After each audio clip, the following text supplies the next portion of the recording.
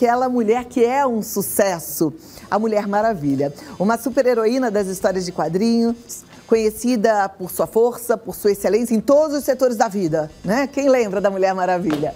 Entretanto, alcançar a perfeição dessa guerreira virou um problema para mulheres mortais e normais como nós, que precisam desempenhar múltiplos papéis né? A gente está sempre precisando correr atrás de muitas coisas. A gente tem nossa vida pessoal, a nossa vida profissional. E essa sobrecarga de responsabilidade está levando algumas mulheres à exaustão física e mental.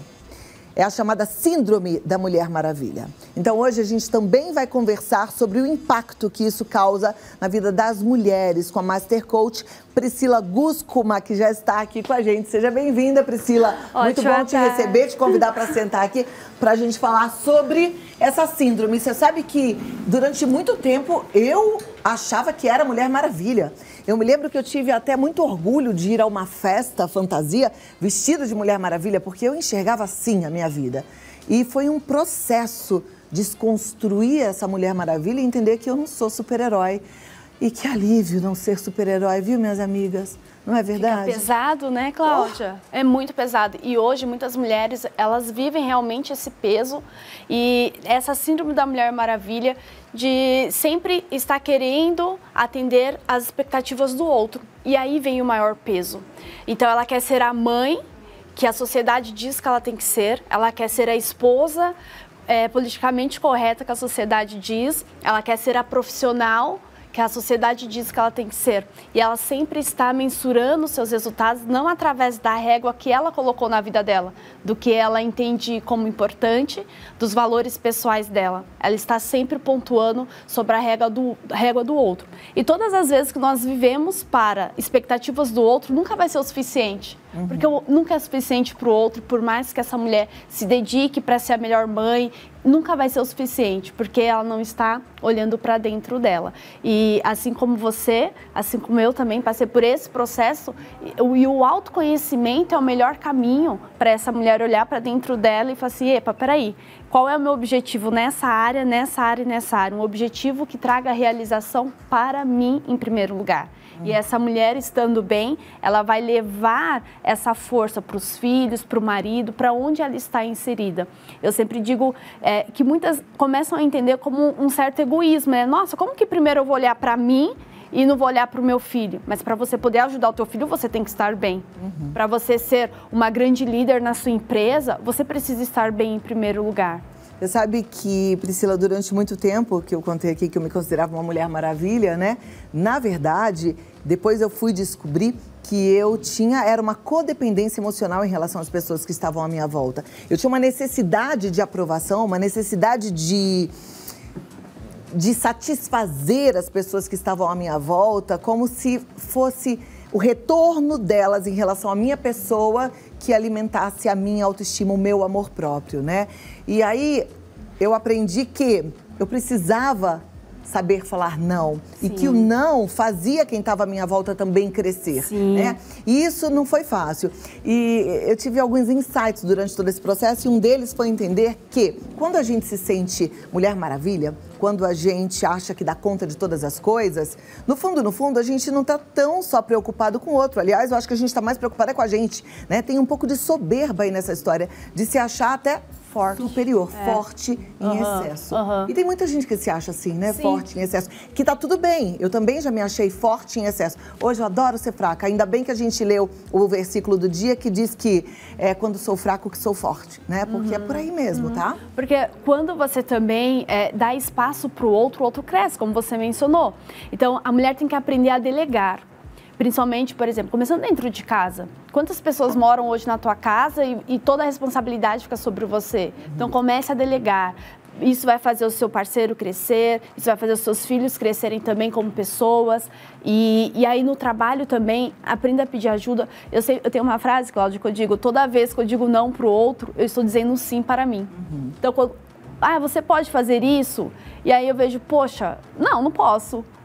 Então, eu estou dizendo sim porque eu tenho tempo para fazer algo que significativamente é bom para mim.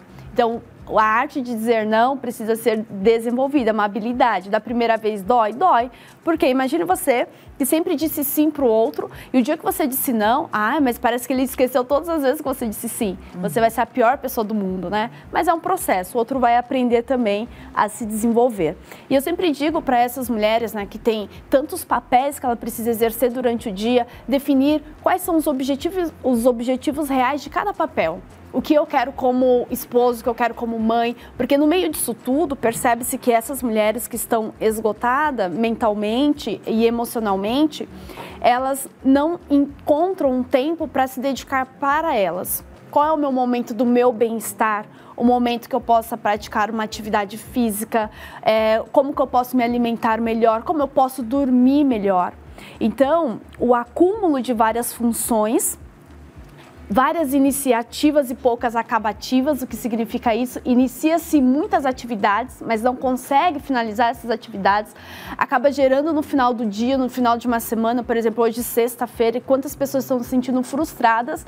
Poxa vida, eu programei fazer tanta coisa essa semana e eu não consegui. E aí esse senso de frustração vem gerando, desencadeando várias emoções negativas e aí ela começa a trazer sempre para autorresponsabilidade dela, que ela não é boa o suficiente, que ela e isso vai gerando um desgaste emocional nela. Sem e como contar com o desgaste das relações, das né? relações. Que era o que eu vivia e muito, porque como eu dava além da minha, além das minhas forças, além da minha condição humana, eu esperava o retorno do outro e eu fazia isso esperando inconscientemente o retorno do e outro. Nunca vem. E o retorno do outro não vem. É. E ele não tem culpa de você estar tá dando além do que você deveria dar. Você está dando além do que você queria dar deveria dar porque você quer, uhum. né? E o outro tá ali de boa, sim, né? Sim. E aí, como que o corpo começa a somatizar toda essa carga emocional, esse desgaste mental? Através das dores físicas. Então, aquela pessoa que vive com dor de cabeça, que vive fadigada, cansada, ah, a insônia. Então o corpo começa a dar sinais que algo não está bem.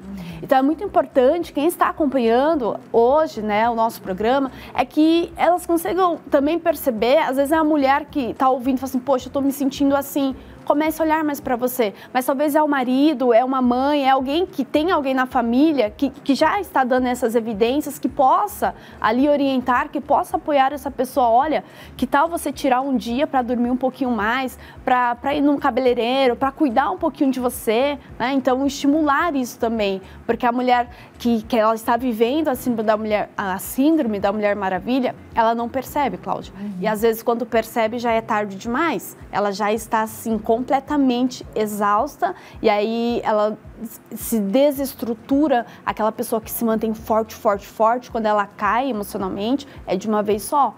Imagina uma mulher que é responsável né, é, pelo, pela força da casa. A Bíblia fala que a mulher sábia edifica a casa, né? Aí ela está lá destruída, porque ela tentou o tempo inteiro fazer além das possibilidades. Né? E tem mais uma coisa que eu aprendi nesse processo: quando a gente dá para o outro o que o outro é capaz de fazer, a gente humilha o outro. Tira e a gente a não tem o direito não de tirar tem. a força de ninguém, né? É isso mesmo. Nem dos filhos, nem do marido. Sim, é, a gente tira a oportunidade do outro crescer e evoluir. É uma coisa que eu sempre digo: o outro não vai ter a gente pro resto da vida na vida dele. Uhum. Então, a vida não vai ter pena, não vai ter dó dele. Né? Então, as mães que ensinem seus filhos a serem independentes, né? então faça a criança levantar, colocar o prato, tirar o prato da mesa, dê pequenas atividades, porque isso também vai aumentando a autoestima daquela criança, da capacidade do fazer.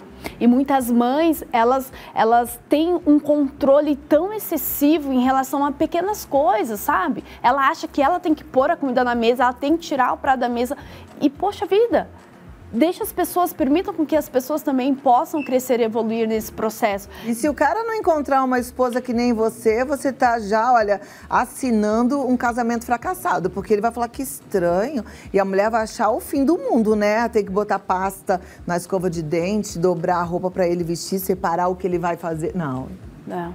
É, é entender o seguinte, se a mãe dele fazia isso por ele, Sorte da mãe dele que tinha tempo para isso, né? Porque a mulher de hoje, ela, ela é uma mulher diferente, ela, ela quer o sucesso profissional dela. Esse sucesso profissional está relacionado à autoestima Mas dela. Mesmo que a mulher não trabalhe, né? Não sei se você concorda comigo. Eu acho que ela tem tantas funções em casa, porque ela pode não trabalhar fora, mas em casa trabalha tanto, né? Uhum. Tanta coisa que você precisa dar conta. E assim, as coisas individuais de cada um, eu acho mesmo que cada um tem que cuidar. Sim sabe? E a casa dos dois, cada um tem que ter suas tarefas. Sim, né? com certeza. Porque uma coisa que a minha mãe sempre disse a vida inteira, trabalho de casa não tem valor, né? Ninguém valoriza. Então, se você faz, ok, é a tua obrigação, mas se você não faz, aí todo mundo vai criticar. então, também é tirar esse peso e o, melhor caminho é a comunicação, Cláudia. Essa mulher, ela tem que falar o que ela está sentindo e muitas mulheres vão guardando essa emoção que não está fazendo bem para ela. Então, ela vê um comportamento, parceiro ou os filhos tendo um comportamento que está machucando ela, não consegue falar. Então, abrir esse canal de comunicação é muito importante, ter esse momento da família, como eu estou me sentindo. E essa mulher, imagine, essa mulher que fica em casa, ela vê o marido sair para trabalhar, os filhos vão para a escola e está todo mundo é, ali tocando a vida, tendo experiências fora de casa e chegam dentro de casa e ela não tem muito de o que falar como foi o dia dela. Então, ela abrir esse canal de comunicação, buscar algo que faça bem para ela. Ok, eu não trabalho fora, mas quais atividades eu posso fazer durante o meu dia que me faz bem? É cozinhar, é fazer um artesanato? É, o que, que eu posso fazer online? Qual, o momento que eu vou ter para cuidar de mim? O momento para eu estar junto com as, com as minhas amigas? É ter esse momento com ela mesma. Isso é muito importante. Perfeito. Olha, recado dado, hein? Mulher Maravilha, só mesmo nos filmes, na história em quadrinho, porque aqui a gente tem que ser mulher de verdade. E mulher de verdade sente fome, sente sono, chora, fica triste, Grita. fica feliz, né? Vive a vida, entendeu? E deixa que as pessoas ao lado vivam também. A gente não precisa socorrer as pessoas o tempo todo, porque a gente também precisa de socorro. Certo, Priscila? Isso mesmo. Olha, Priscila Guscuma, ela tá no site priscilaguscuma.com.br, o Insta e o Face, Priscila Guscuma, com K, tá? Priscila Guscuma. Entra lá, acompanhe. Eu sempre gosto de falar para você que a gente tem que estar tá cercado de pessoas inspiradoras, né? Priscila tem um conteúdo bem inspirador, vai te ajudar aí nessa caminhada da vida. Muito obrigada. Muito obrigada e até prazer, a próxima. Até a próxima. Você